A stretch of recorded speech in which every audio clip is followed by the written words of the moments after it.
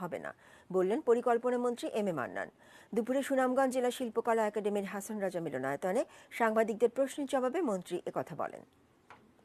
সরাসরি বাণিজ্য, আমার জানা মতে অত ভয়ঙ্কর নয় যে আমার দশ পড়ে যাবে। আর বরঞ্চ কোনো কোনো ক্ষেত্রে আমাদের যে বাজার আছে, পশ্চিমা ইউরোপিয়ান ইউনিয়ন, মার্কিন বাজার যেখানে আমাদের এক্সপোর্ট মার্কেট বিশেষ করে কাপড়ের এবং অন্যান্য কিছু খাবার দাবার, মাছ, মাংস, এগুলো তো যাবেই। এগুলো তো আটকাবার কথা নয়। আমি কোনো ইমিডিয়েট ইম্প্যাক্ট দেখছি না।